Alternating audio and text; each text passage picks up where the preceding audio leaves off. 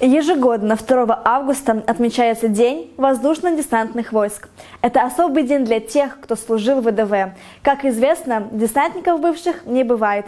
Их называют по-разному. И крылатая пехота, и войска дяди Васи. Неизменным остаются традиции, которые десантники помнят и чтут на протяжении всей жизни. Многие мальчишки мечтают пойти служить в ВДВ. Прыжки с парашютом, высококлассная физическая подготовка, тельняшка и голубой берет.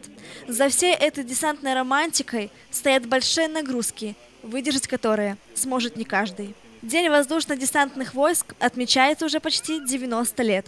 За эти годы он обрел неофициальное название – «Праздник голубых беретов» и опрос традициями, самое известное из которых – купание в фонтанах. Собрались десантники сегодня 94 года нам, скажем так, десантным войскам потому что первый раз воздушный десант был применен в 1930 году на московских тактических учениях.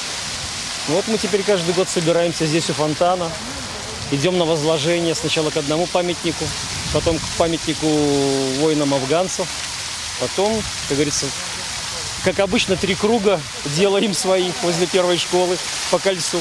И едем к детям в СПЦ, им тоже делаем праздник, как говорится, помогаем, чем можем.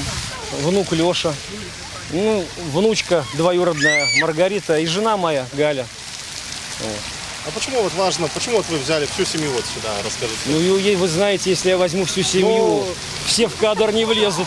Это обязательно чтить память павшим героям во время Великой Отечественной войны, память воинам-афганцам. В частности, Петр Балыш, он десантник, он погиб.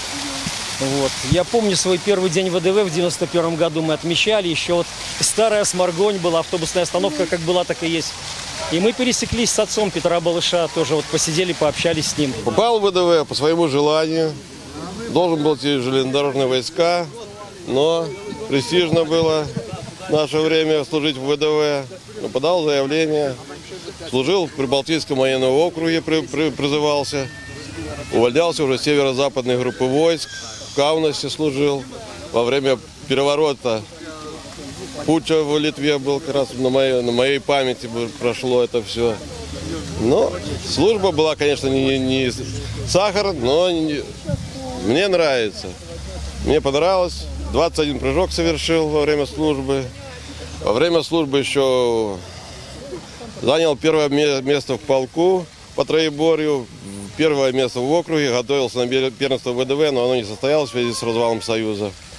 Ну а так, сами знаете, если физически подготовлен, то служба не в тягость. Я, по крайней мере, в группе присоединился вот это третий сезон, третий год уже, потому что до этого я сам с Ашмянского района, и поэтому перевелся сюда в Сморгой, сейчас в Сморгое живу. Первые годы не, не мог определиться, где тут найти кого, но потом нашел группу, да, и уже отмечаем.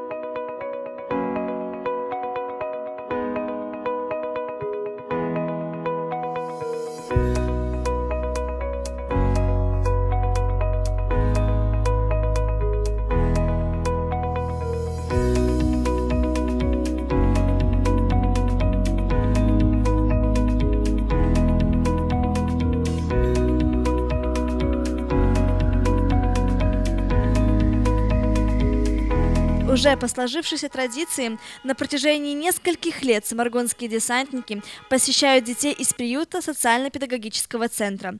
Этот год не стал исключением. Воспитанники центра поздравили гостей с праздником, а те в ответ вручили им памятные подарки.